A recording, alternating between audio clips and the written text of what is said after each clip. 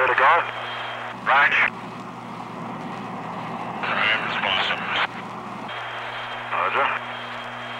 Pump idle. Idle cooling brought down. Got it. Launch. Turning off to the right, starting. The launch uh, tank pressure is going up to 60.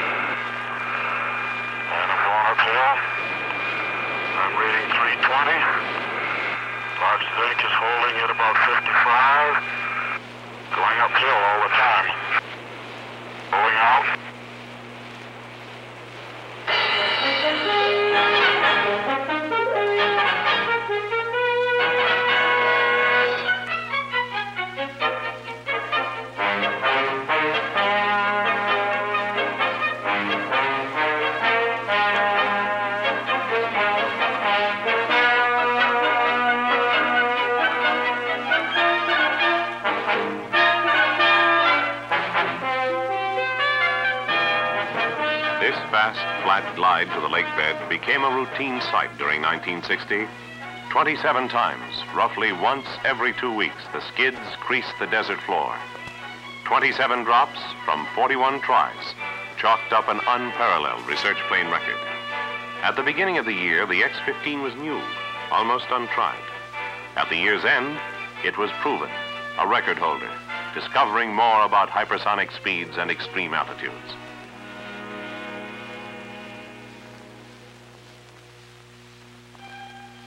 January saw the number one airplane make its final qualifying flight. Delivery to the Air Force and NASA started a new crew on acceptance check and pre-flight readying. Joe Walker, chief research pilot of the National Aeronautics and Space Administration, was the first to show that the X-15 is not a one-man airplane. At this time, two X-15s were flight ready. Number one was involved in the Air Force NASA program to take the airplane with its present engines and push it to the limit of its abilities. And Joe Walker's first flight denotes the start of this research phase. The number two plane was still being flown by North American for investigation of stability, control, flying qualities. Two, one, three.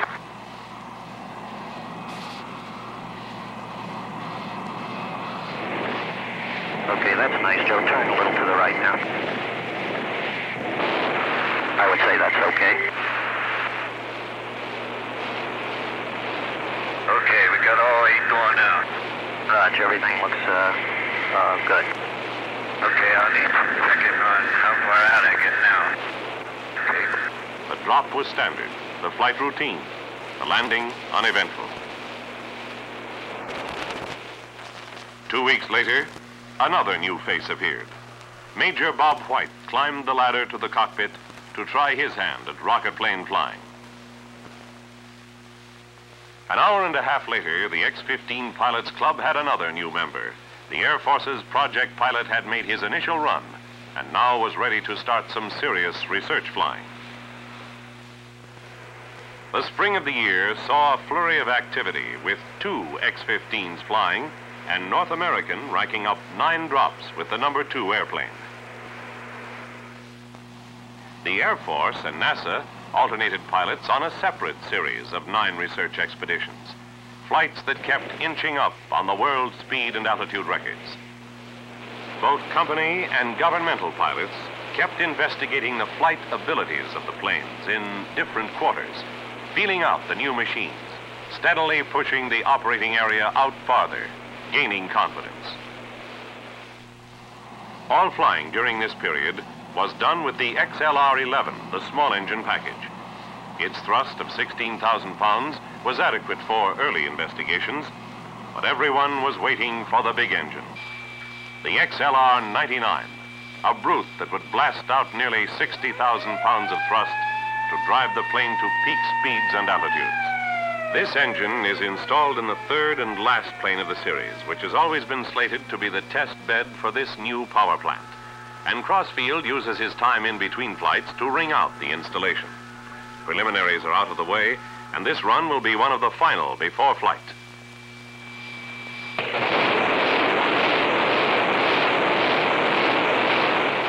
This long-awaited engine can be throttled having an idle output of 30,000 pounds, but able to be regulated between idle and 60,000 pounds of thrust.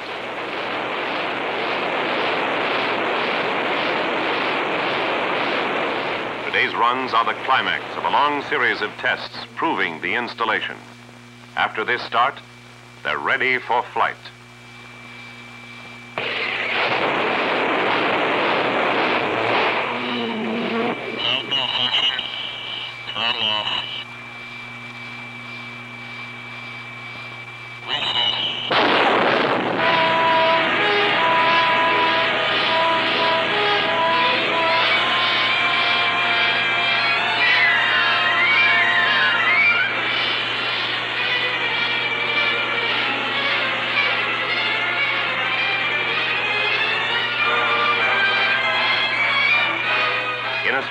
Second, years of planning, months of test and grinding work went up in smoke. There was only one real observer, one eyewitness, the pilot, Scott Crossfield. Scott, what was your immediate reaction? Well, it was the biggest bang that I'd ever heard.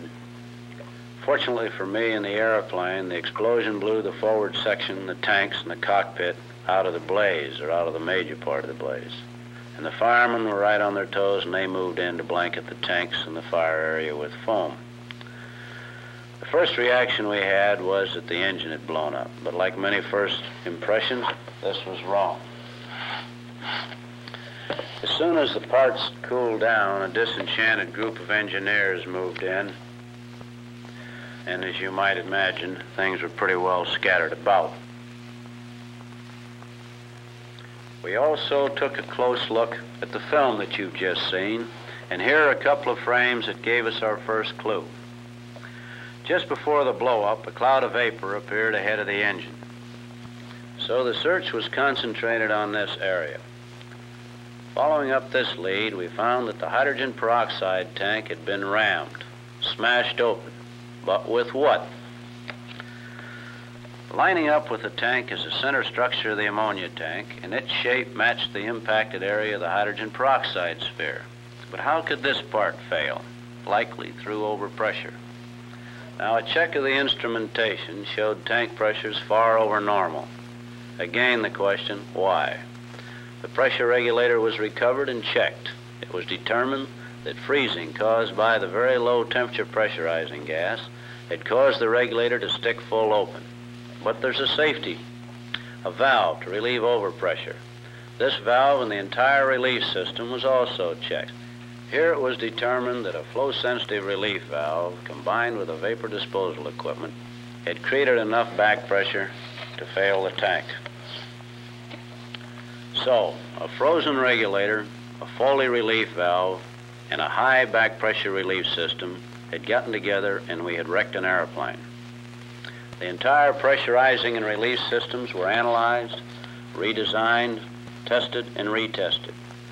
We ran the combination time after time, deliberately creating the most severe failures possible. Weeks passed before we and everyone else were convinced that the problem was licked. As a measure of how the confidence was restored, here is what happened on the 4th of August. On this historic date, Joe Walker let out a yip of joy. Yippee! He had just pushed the modified small engine airplane to a new speed record, then made his report to the public. Joe, how does it feel to be the fastest living human?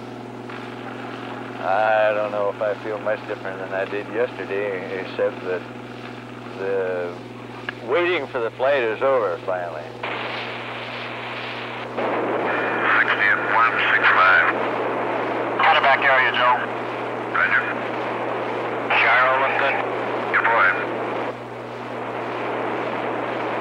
Push over. Go, go. Burnout. Plus three plus.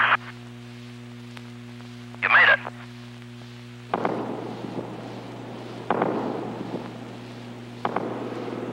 At what point did you reach your maximum speed? Uh, if you notice the vapor trail from the engine, at the instant it cut off, that was the point at which I reached the maximum speed, Now, what was your altitude then? around 66,000. How long were you going that 2,150 miles?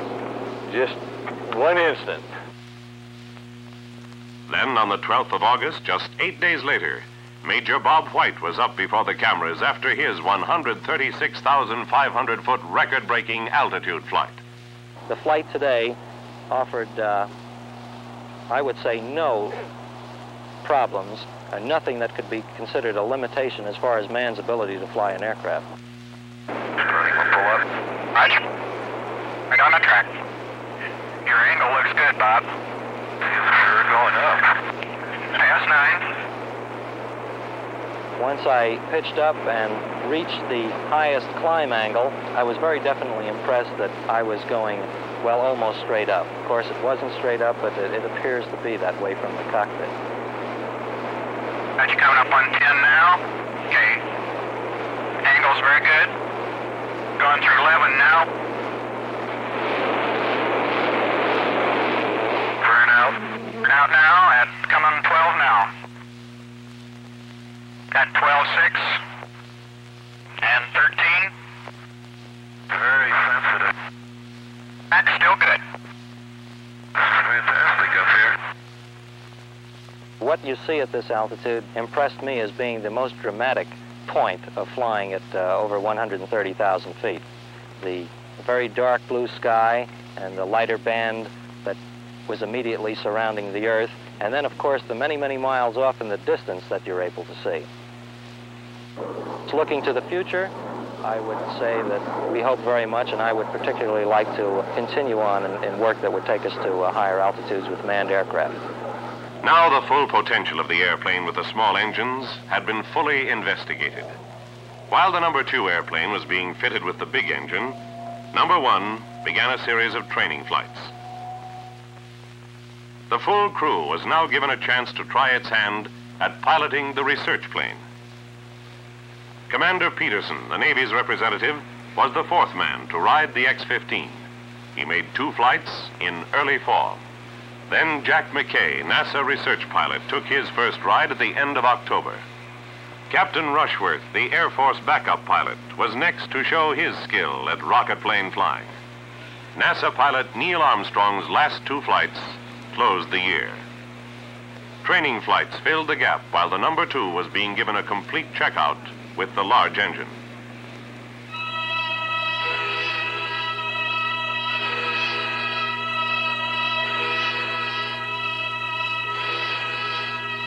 Since that ill-fated day in June when the explosion ripped the number three ship in half, maximum effort has been exerted toward getting another engine and installing it in ship two. Months of work, weeks of painstaking trials, round-the-clock days of final pre-flight were at last put to the test on the morning of November the 15th. This is the X-15 in its final stage of development. This run, if successful, will mark the beginning of a whole new era of flight research. Camera. It's okay down here, Scott. Okay to go? Raj. Roger. 25.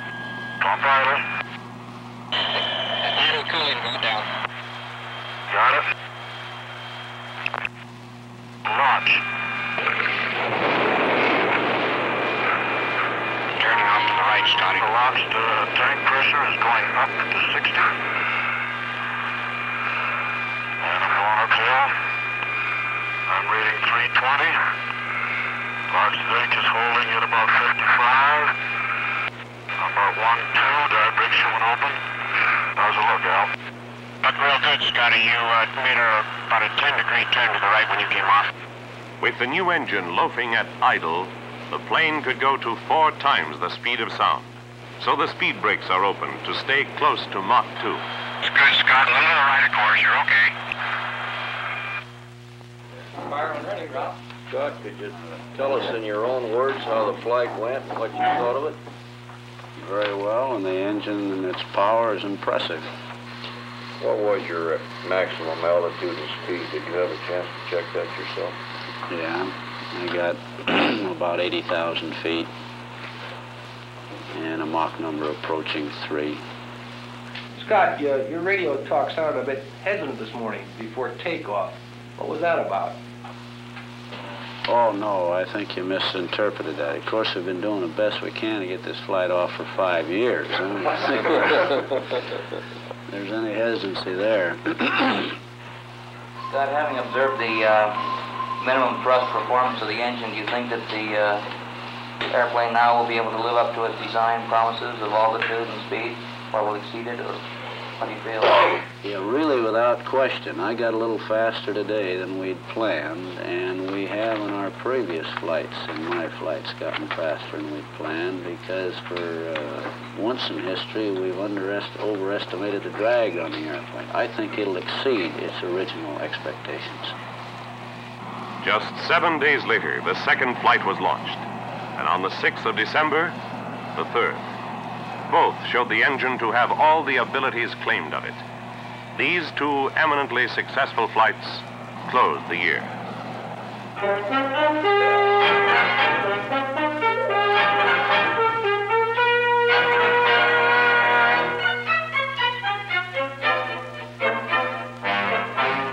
But the story of the X-15 stands not in the past, but in the future, when every flight is a record breaker, when every trip away from the B-52 is an unparalleled research mission. Human hands will be learning a new skill to thrust deep into unexplored areas, capture vital information, then settle to a safe return from that twilight land standing between Earth and space.